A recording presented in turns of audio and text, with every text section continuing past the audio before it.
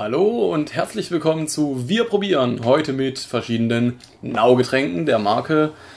Ja, der Marke Nau, zum Beispiel die Nau Cola, äh, wurde uns zur Verfügung gestellt äh, von der Brauerei Lamsbräu. Das meine ich, Marke Lamsbräu. ja, Marke Lamsbräu. Wobei die Marke ist eigentlich Nau, aber Egal.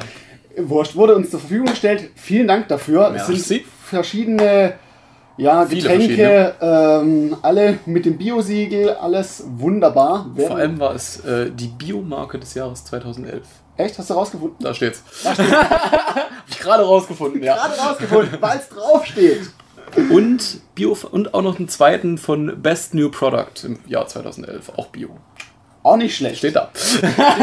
Also, äh, dann würde ich doch mal sagen, fangen wir mit der Cola an. Jawohl, wie immer von links nach oder von rechts nach links durch. Now Black Cola 100% Organic. Äh, 100% Organic, 100% Organic Taste. Dann steht hinten Bio, Bio, Bio, Bio, Bio. Eigentlich könnte man doch Bio ausklammern. Weißt du? Eigentlich schon, Bio, ja. Da steht äh, drauf äh, Bio-Zucker, Bio, was weiß ich was. Ne? Bestimmt auch Bio-Kohlensäure und Bio-Wasser. Sehr geil finde ich den Deckel, mit wo sie nochmal das äh, Chamäleon drauf geklatscht haben, was ja den ihr Emblem ist quasi. Kama, Kama, Kama, Kama, Kama, Chamäleon. Oder so ähnlich. Riecht nach Cola. Ja, riecht nach Cola. Echt? Riecht nach Cola. Es ist unglaublich, aber wahr. Und ehrlich gesagt, großartig näher einordnen kann ich es fast gar nicht. Ist allerdings sehr neutral gehalten. Ist Also neutral ist gehalten und nicht leicht penetrant. Zitrus vielleicht noch. Leicht Zitrus, echt? Ein bisschen. Ja. Geht auch vom Geruch, finde ich, in Richtung, Richtung Fritz. Alter, schreibt aber gut. Schäumt ordentlich, ja. Und man hört sie auch. Ich zumindest. Ja, hier hört man es auf der Aufnahme wahrscheinlich nicht. Nee. Aber-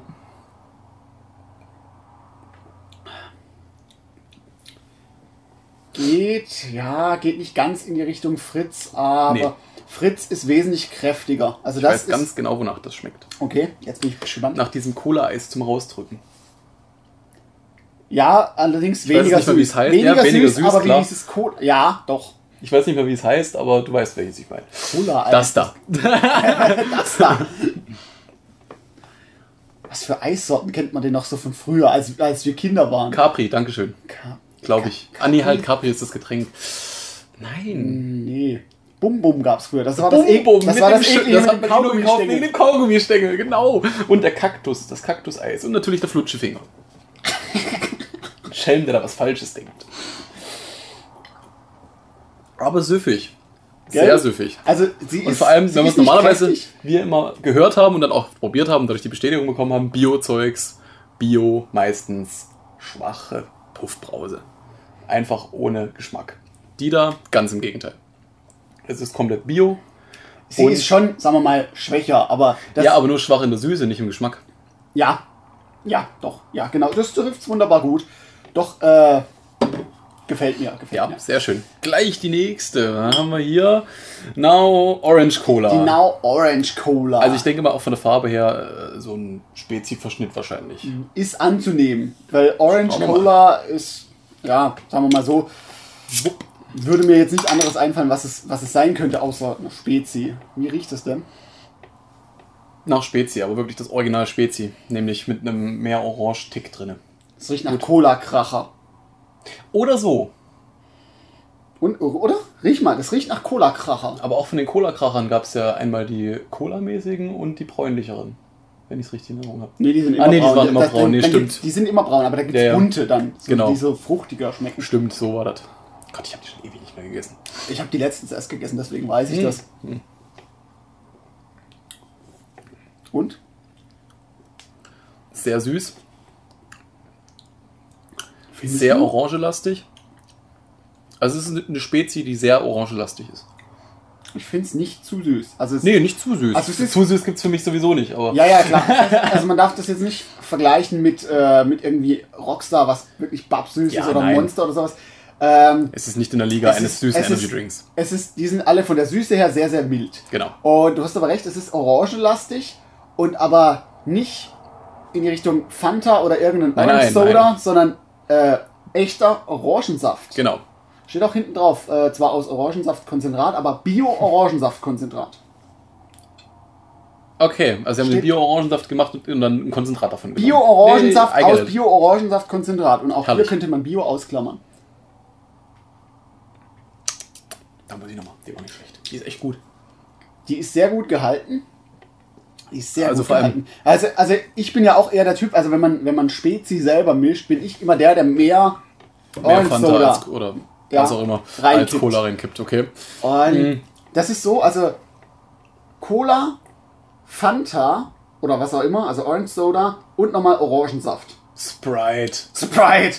Nee, Ja. also vor allem, ähm, also wenn ich Spezi trinke, früher habe ich die Metzmix geliebt. Dann haben sie ihre äh, Abmischung, äh, die. Rezeptur geändert gehabt. Und dann fand ich sie nur noch scheiße. Und seitdem, wenn ich mal gerne mal einen Spezi trinke, nehme ich eigentlich nur noch die Sinalco. Aber jetzt das hier ist echt eine sehr gute Alternative. Gefällt echt gut. Ja. So, und dann haben wir jetzt zum Schluss noch die, White, White Bitter. Bitter. Wieder 100% Organic, das übliche äh, natürliche Kräuterextrakte. Ah ja. Bin ich gespannt. Bin ich echt gespannt. Aber ganz ehrlich, also ich lehne mich mal aus dem Fenster und sage, dass die durchgängig gut sind. Das denke ich bisher auch. Also die scheinen sich echt Mühe gegeben zu haben. Ja? Aber die hier riecht einfach mal stumpf nach gar nichts. Also wirklich nichts. Ich rieche Doch, du riechst einen Bitter raus. Echt. Also ich, ich rieche den Ich Bitter raus. nicht. Vielleicht ist jetzt für den Platz. Ist, ist eine Rübsbrühe, ja. Nee, immer noch nichts. Äh, sag doch mal was zum Kohlensäuregehalt. äh, wie man gerade gehört hat, hoch. also, nein, es ist nicht so, dass ich sagen würde, Es es ist ist so eine richtig krasse, aber es ist eher eine Tendenz ab. Ja, aber es ist angenehm Nicht penetrant, gehalten. nicht im Vordergrund. Untermalt das Schäumt Ganze. nicht im Mund oder sowas. Nein, gar nicht. Ist, äh, unterstreicht einfach sehr gut den Geschmack.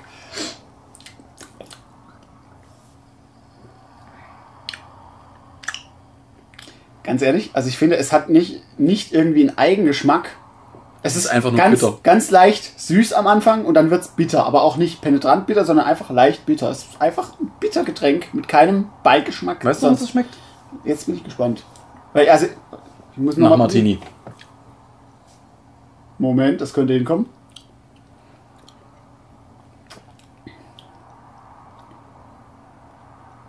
Mhm, geht in die Richtung. Ja. Wenn, du, Ma- wenn du Martini, wenn, die du den Alkohol wegnimmst Ja, und dafür Kohlensäure reinknallst, genau. Kommt hin, ne? kommt Aber hin. ist nicht schlecht. Also es ist nicht so wie äh, Martini kann ich inzwischen aus Gründen nicht mehr trinken. Aber äh, Ja. das geht gut. Auch noch. Still. Ist jetzt für mich persönlich jetzt. Ich, ja gut, wir sind ja jetzt nicht so die Bitterfreunde, Richtig. aber äh, trotzdem also Immer noch sehr leicht gut. gehalten, dezent. Äh, von daher, Was gut. hatten wir damals? Die, ähm, die kleinen San Pellegrino. waren das San doch, ne? Pellegrino, die San San Bitter. Bitter. Boah, Also sowas ist das nicht, das ist gut, ja. Die waren richtig heftig. So, was haben wir now? Also jetzt. Now, Redberry. Redberry, 100% Äh, neue. Rezeptur jetzt noch fruchtiger Uh. steht drauf. 100% Organic, 100% Taste. Oder 100%. Fruity. Fruity. Wer hätte gedacht 100%, 100% äh, Percent Taste? Ich dachte immer nur so 50 und der Rest halt nix. Ja, genau, kommt billiger, ne? Kommt billiger. Wir lassen die Hälfte vom Taste einfach weg, das merken die eh nicht. Merkt keiner. Ja. Lass mich raten, riecht nach Beeren. Nach roten wahrscheinlich. Schwarze Johannisbeere.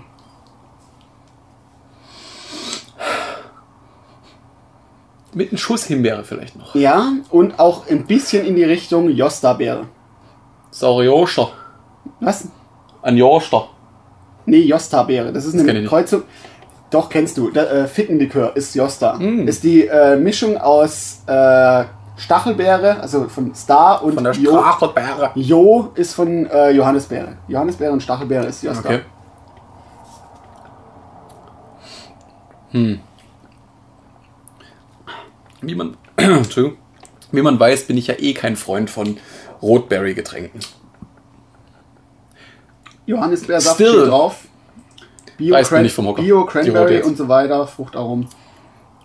Ich finde es jetzt, nicht- jetzt nicht schlecht, aber bisher ist es die schwächste. Ja, sie ist sehr bärig, also sie hält, was sie verspricht. Sie ist eine absolute Redberry-Mischung. Geht für mich in die Richtung, was war denn das? Äh, Fritz. Fr Fritz? Doch, die Fritz. Ah, ja, die Fritz, ja, genau. Die Fritz Red, genau. Wie hießen die? Genau, Apfel, Hol- äh, Apfel Apfel, Holunder, irgendwas. Ich glaube, Kirsch war noch mit drin, kann das sein? Apfelkirsch Holunder, genau. Genau. In die Richtung geht das, also zwar nicht genau, aber so, man muss sich das Wenn die vorstellen. Kirsche weglässt, dann ist, glaube ich, das. Ja, ja.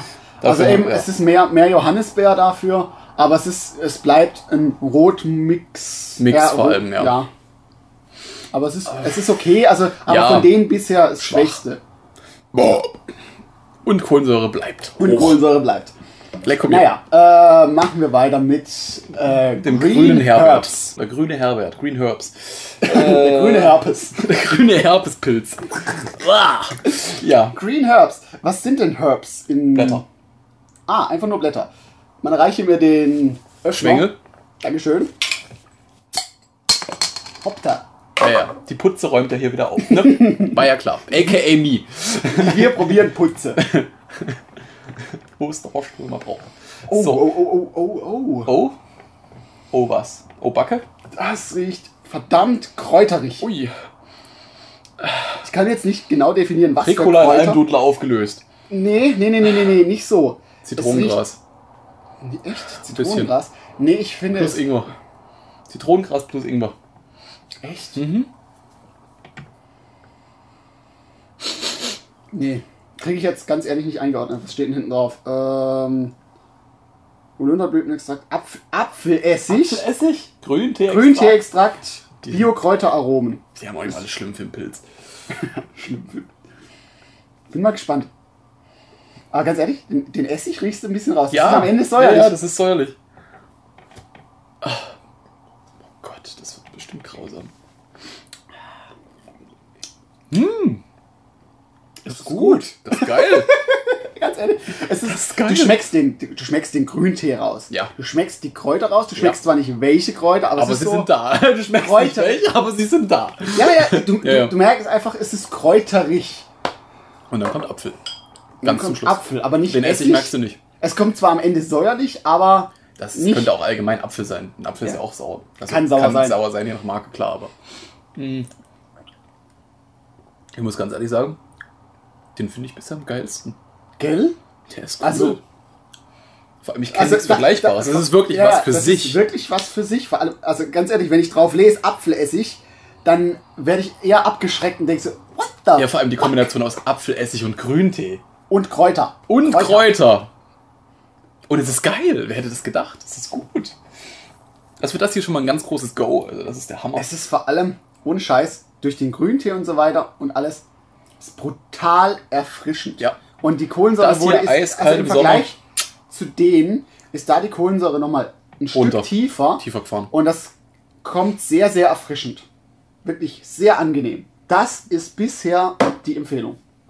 Hätte ich nicht gedacht. Hätte ich Eigentlich haben wir noch gedacht. Eigentlich haben wir noch zwei. Äh, jetzt haben wir die äh, Fresh Lemon. 100% Organic und wieder 100% Taste. Habe ich aufgefangen. Dein Sack hat's aufgefangen. Nee, das war hier. Achso. Ja, da trage ich meinen Sack. So, Am am, Knie. Knie. Lass mich raten. Nach Zitrone. In die Richtung. Es riecht eher so ein bisschen nach Bitterlemon. Sieht auch so aus wie Bitterlemon. Riecht nach Bitterlemon und vielleicht noch so ein Zitronensaftkonzentrat. Weißt du, sowas, was du mit so in die Drinks reinschüttest. Ja. Und genauso schmeckt's auch. Echt? Sehr sauer im Abgang. Aber du hast doch gesagt Bitterlemon. Ja, du hast gesagt Bitterlemon. Ja, aber du hast gesagt ja. Danach riecht's ja. Es ist am Anfang sauer, ist am Ende sauer, zwischendrin auch. Es ist Bitterlemon ohne Bitter. Also Lemon. Ja, aber, aber, Es ist Bitterlemon ohne Bitter. Was bleibt da noch übrig? ja, aber und das Lemon, Lemon ist ja kein, kein Getränk, aber Bitterlemon ist ja ein Getränk. Ja, Das wollte ich damit sagen. ja, Äh, Nee. Klar, der, als Mathematiker bleibt Lemon übrig, ist schon klar. eben. Äh, Ich ja, Mathematiker. Ist, nein, für den Mathematiker. Schon klar. Äh, rausgekürzt. Ist doch logisch. ja, logisch. Es klammert sich raus. Ähm, Ja, ja, es ist eine, eine gute, saure Zitronenlimo. aber Also, keine besonderen. Also im Vergleich zu den anderen Sachen, die schon relativ gut rausstehen, Ja, sagen wir mal so. jetzt mit der Masse. die sind einfach individuell Genau. und die sind was Schönes und die, die sind auch einfach, ähm, sagen wir mal, so herausstechend, dass man die, in, äh, gut, man kann sie irgendwie vergleichen, Kann aber sie man, muss sie, man muss sie schon mal probiert haben. Richtig. Das hier sowas findet man doch des Öfteren. Jetzt zwar nicht vielleicht genau mit dem Geschmack, Nein, aber schon nicht, so in aber- die Richtung. Also wenn du Es ist wenn, jetzt auch nicht so wenn herausstechend du bei, bei einer. Sprite die Süße etwas reduzierst und dafür die Säure erhöhst, Und die Kohlensäure reduzierst. und die Kohlensäure reduzierst. Also für die, die Spr- für die Sprite oder sowas zu süß ist, für die ist das. Die holen sich einen Mountain Dew, damit es weniger süß ist. Genau. Meine Empfehlung des Tages. Für wen den Sprite zu süß ist, holt euch einen Mountain Dew. ja, lass nochmal kosten. Aber mögen tue ich sie trotzdem. ja, also still good, but ja. Vielleicht, man sollte bei der, glaube ich, ein bisschen die Kohlensäure runterfahren. Findest du? Also ich finde sie genau richtig. Also vielleicht ein bisschen, aber Dann kommt die Zitrone noch ein bisschen mehr durch. Und dann wäre sie für mich perfekt. Aber ist auf jeden Fall Auch bisher auch alles gut. Also bisher die, äh, rote am, schwächte, am schwächsten. Ist schwach, das heißt aber nichts, die ist immer noch gut. So, Sunny Orange. Sunny Orange vor allem. Sunny. Sunny, soll ich da drauf trinken oder was? Du konntest dir nicht verkneifen. Oder? Nee, Warum habe ich ihn nicht gebracht? weil ich schneller war. Verdammt. Ja, Ich mach mal die Poren frei. riecht So, nach Orange, aber, sorry. Sunny Orange, wo da riecht's nach Orange. aber sehr, sehr dezent und vor allem nach Zeste. Also nach Ja, ja, äh, Schale. Schale.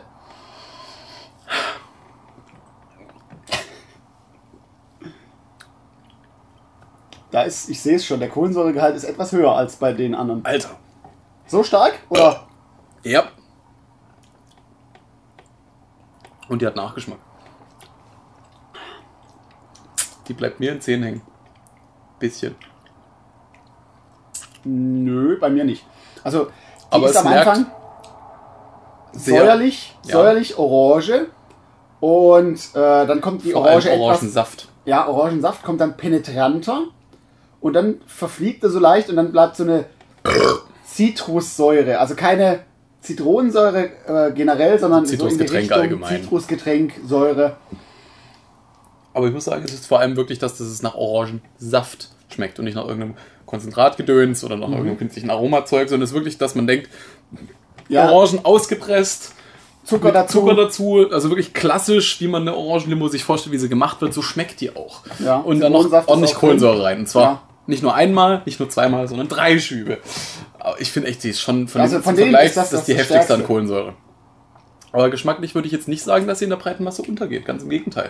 Das Nein, ist nein, eher nein. eine, die raussticht. Und zwar ins Gute, Die absolut ist, Positive. Die ist top. Also, weißt du, Fanta ist mir mittlerweile auch einfach zu, oder generell so Orange Sodas, sind mir einfach zu süß und die schmecken einfach künstlich. Und Richtig. das schmeckt nach Orangensaft, schmeckt dann, geht dann über in eine angenehme Zitrone, Kohlensäure vielleicht etwas runterfahren, aber sonst top. Gefällt mir sehr gut. Also die Jungs von Now wissen, was sie produzieren, das muss man ihnen echt lassen. Die haben nicht ohne Grund die Biomarke des Jahres 2011 gekriegt. Ja. Von mir würden sie allgemein Getränk die, des Jahres die Adresse 2011 kriegen. drinknow.de? oder Drinknow, www.drinknow.de. Ja, Ja. Beziehungsweise ähm, die äh, Firma Lamsbräu stellt natürlich noch mehr her. Hier die Adresse. Äh, ja, bleibt uns ansonsten nur noch Das Ranking rauszugeben. das Ranking. Das Ranking für mich heute, also das ist der ganz klare Verlierer. obwohl er, also Im, immer nur im Vergleich zu den anderen. Die Ja. sind alle, muss man nochmal sagen, alle top. top. Und kann man alle, ohne sich das zweimal überlegen zu müssen, direkt holen, wenn man sie sieht. Ähm, Kistenweise. Das wäre dann erstens der Verlierer. Was ist der Gewinner? Das, Also das würde dann Das- im Ranking danach kommen. das würde im Ranking danach kommen. Dann würde für mich- ist das, das hier Der ein Gewinner. Mitgewinner und direkt danach das hier. Und danach die, die Spezi, sag ich Genau. mal. Und, Und- der Rest, gut, Ja. die Cola war auch nicht schlecht, aber Ja, Die würde jetzt auch sagen noch mit der Masse untergehen. Platz Die drei. 1, Platz 2, Platz 3 und danach das hier Platz 4. für mich wäre Platz 4 dann die Cola. Okay, Und die zwei, ja, gut. mal probieren. Wer einen Martini Also, ohne Alkohol mit viel Kohlensäure trinken will, kann sich die dann noch. Die drei auf jeden Fall die Auf Gewinner und auf jeden Fall probieren. Das Ja. ist unsere absolute Empfehlung für heute. Die Empfehlung der Woche, definitiv und des Tages sind sowieso überhaupt. der Woche! In diesem Sinne, adios.